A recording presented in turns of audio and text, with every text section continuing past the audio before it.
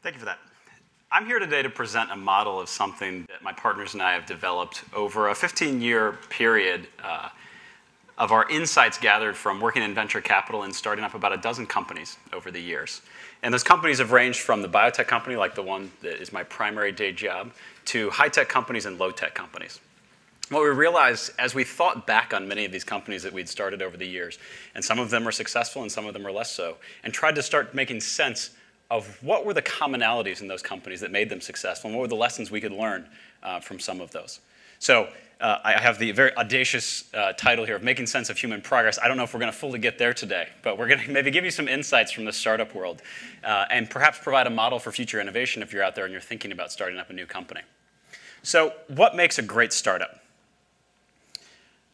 This is a question we get all the time back in venture capital where we're starting up new companies. It's, a, it's, something that we're constantly throwing around, even among ourselves, right? And it's an interesting question because you should, why is it that startups should even exist? Why don't big multinational companies just solve all of our problems, right? These multi-billion dollar research budgets, all of these people that work for them, why do startups exist? I'm not prepared to answer that question today. I'm not sure why that is. I think there's a specific reason for every startup to exist. But what we can all accept is that there's a reason for that. And the reason is that there's value being created. So in this question of how do startups create value, I think is the fundamental question. And they create value by solving problems. And so we find ourselves in this amazing era today that we live in of the first era of sustained technological progress in the history of mankind, right? We've, we've started, we have these fits and starts over time in human history of, of getting better at things, and then we all lose it to some terrible tragedy or some war. But we find ourselves in the Industrial Revolution that continues today in this era of continuing to get better at things. This is a chart that on the x-axis it shows uh, a period of 100 years from 1900 to 2000 in the United States. And on the y-axis it's showing uh, our ability to convert use, energy into something useful. So power into something useful. Okay? This is a very simple chart that shows the US GDP over that exact same period, 100 years. Okay? Let me overlay them. They match up perfectly, right? There's something subtly profound in this, I think, in how we think about what makes a great startup, how we think about what is human progress. Because human progress is our ability to make these little incremental improvements over time, to get better at doing things. Okay? And better at doing things. Uh, fundamentally, it's, progress and efficiency is about converting a raw material into something that's useful. And what's left over from that process is waste, right? So there are fundamental rules that go into this. There are losses in the system. And so I'd make the case that all human progress is really a war against entropy. That, that we're in this battle uh, to get better at converting raw materials into something that's useful. All right? So how do we do that? How do we do that better? And what I'm arguing today, and what we argue in this model of rules, tools, and fools, is that by having greater leverage in your system, you're going to have a greater impact. And by leverage, we mean this in, in the traditional sense of leverage, of, of getting more out of an output than you get from an input. But the, the model, what focuses on is things that can have more leverage can have a greater impact. And so it's this hierarchy of leverage that is the rules, tools, and fools. So, so let me walk you through how we think about that with rules, tools, and fools. Okay, behind me is a picture of the blue marble taken by Apollo 8, 17. Nothing on the earth has really changed since mankind set foot on it, fundamentally. This is probably what the earth looked like thousands of years ago, right? The rules that apply to us today are the same rules that applied to everyone tens of thousands of years ago. So we accept those, okay? There's an incredible amount of leverage in that. It sort of applies to everyone. Tools are a subset of that, and, and some tools can have a, a, modest amount of leverage, and some tools can have a lot. Fools are at the middle, and, and fools, they're the people at the middle of all of this. And the term fools is meant to be provocative, right? It's meant, it's meant to knock us off our foundation when we're thinking about making a new company and to say, hey, look, is this a fool's company or is this a tools company? And I'm going to argue today that the sweet spot of human innovation and the sweet spot of startups, certainly venture backed startups, is really this interface between the rules and the fools and creating tools that allow us uh, to help people accomplish things that are incredibly meaningful, all subject to the constraints of the system. Okay, so what are rules? I'm going to take you through what, what are rules, what are tools, what are fools, give you a few examples, and then we're going to wrap it up, okay? Rules are the fundamental laws that we have that may be dictated by mankind, the US Constitution, the Bill of Rights, the statutes we have, but also it's basic stuff. It's physics, it's chemistry, it's biology. We're all subject to these same rules. What I would argue when you're thinking about a startup, though, is that over the long run, all rules are actually just assumptions, right? And if you don't believe me, think about communication 200 years ago, right? Who would have ever thought of something like the telephone? Think about communication today versus 100 years ago. Who would have ever thought about Skype or FaceTime? To being able to communicate with someone on the other side of the country without having to leave your desk. It's amazing. And that really, I would argue, is a redefinition of how we think about the rules. It's not about transporting a physical person to the other side of the country. Communication is something slightly different. And we see these innovations, certainly in communication, at an incredibly rapid rate today. So, what are tools? This is the rocket steam engine. And uh, the rocket steam engine certainly wasn't the first steam engine, it's, it wasn't even the first uh, steam locomotive. But what I like about the rocket example is the rocket steam engine was a, a very good amalgamation of a whole bunch of little incremental improvements, finally condensed into one tool that really became the basis for what was a steam locomotive for the next 150 years that came after that. Medicine. Medicine's a tool. Uh, this is this uh, strain of penicillium, where we get penicillin. This is a fungus. Uh, discovered penicillin only in this century, which always shocks me. Sort of the 20s, the 30s, the 40s, we ended up developing it as part of the World War II effort. It shocks me that we didn't discover this before that. But this is an amazing tool, obviously. Some of you may recognize this. This is the first integrated circuit discovered or invented by Jack Kilby while he was at Texas Instruments in 1958, right?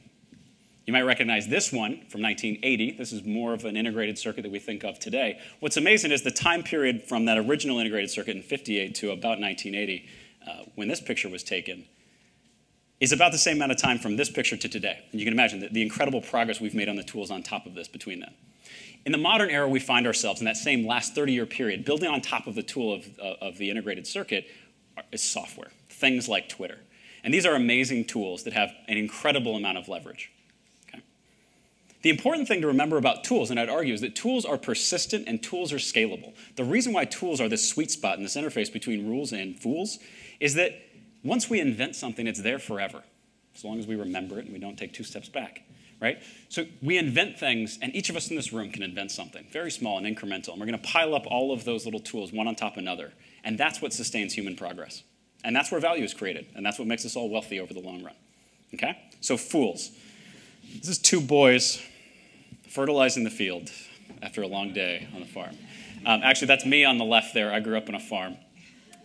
Um, fools is a word that's meant to be provocative here, and I, and I, start with myself here because it is not meant to be pejorative per se, right? It's, uh, we try to classify our companies into fools businesses or tools businesses primarily, right? And so the fool's business, when we think of a fool's business, we think of something that has a lot of human input and requires a lot of human ingenuity to run day after day after day after day. And the thing is, most of us, myself included, uh, I'm in a fool's business for most of my day job. And so what I challenge people to think about is how do you turn what you do in your fool's business every day in something that's sort of institutionalized, that's systematized, turn it into a tool. And then how do you move on and discover a new tool? How do you do something more valuable? And how do you pass that knowledge then on to everyone else? So farmers are certainly a classic example of, of a fool's business. It takes a lot of human input. But then someone invented the combine, what's sitting behind me in this picture, right? That was an amazing tool. And these are the tools that are going to proliferate and spread to the rest of the world as they become more modern, modernized in their farming. Okay? Doctors are a great example of a fool's business. Clearly, doctors are a great profession. I have a lot of respect for doctors. But doctors can only influence folks on an order of tens of thousands over the lives of their career. This doctor happens to be Alexander Fleming, the inventor of penicillin. So you think about what Alexander Fleming could do in his life as a doctor versus what he could do in his life as a tool builder, he saved literally billions of lives since that invention. And of course, there are a lot of other people involved in that invention as well. This, from left to right, we have a telegraph operator. We have two farmers on the right. Fundamentally, it fools businesses for, for most of their lives, right? But also, that's Thomas Edison on the left, right? That's Henry Ford on the right. That's the writer John Burroughs in the middle. Writers, I would argue also, it's sort of a tools business. You're creating something that can be infinitely scaled. Once, once, you, once you write a book, you can share it with everyone in the world, especially in the digital era, right?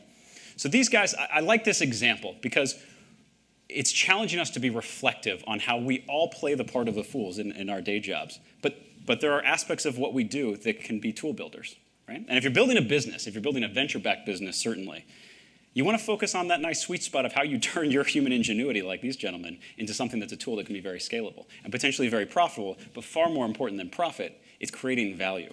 And creating value means you're creating human wealth. And wealth in the intangible sense as well, not just the monetary sense. Here's the thing to remember about people they are not scalable, right? That's how we differentiate a tools business from, from a fool's business, right? Because people get sick, people die, people don't show up to work. Um, you get emotional one day, you have a bad day. That those businesses tend to be more fragile and not scalable. We can forget all the things that goes along with a fool's business. Now, a fool's business can be turned sort of into a tools business by creating business processes, by writing software, by capturing the best practices of what you do. And I would encourage everyone to do that in their job and to try to make themselves obsolete and then move on to something else. Okay? I'm serious about that. You'd be very valuable to the world. So, to recap, rules are assumptions at the end of the day, I would argue. Right? Tools, they're persistent and they're scalable, and fools, they are not scalable and they are certainly not persistent and they are fickle. Okay? The fool side of the business happens to be the most rewarding for all of our businesses, I'm sure. Uh, but just remember, when you're starting a nice venture backed business, that's probably not the place where you want to start. You want to challenge yourselves. How do I make this into more tools? Okay? So I'm going to give you three examples a low tech example, a biotech example, and a high tech example of how we bring these together and how we think about um, new tools and new businesses. So, a classic example this is a prospector, right? Maybe back in the gold rush uh, in the 1800s, right? That's a fool's business. This guy's out, he's crushing rocks with his bare hands, and then he goes and he finds a shovel and a pickaxe. Awesome. His, his productivity has now increased multifold, right? Because he has this nice pickaxe. That's a great tool. It's great that someone invented the pickaxe. Over on the, the right hand side there, this is a patent application from 1921, maybe long after this gentleman lived, but this was an improved pickaxe. And I love this example, right? Because even something as simple as a pickaxe uh, can get better over time. Okay? And of course, uh, this gentleman wouldn't even uh, recognize our, our modern mining techniques today. Progress continues. We can mine things much better today than what this gentleman had to endure back then.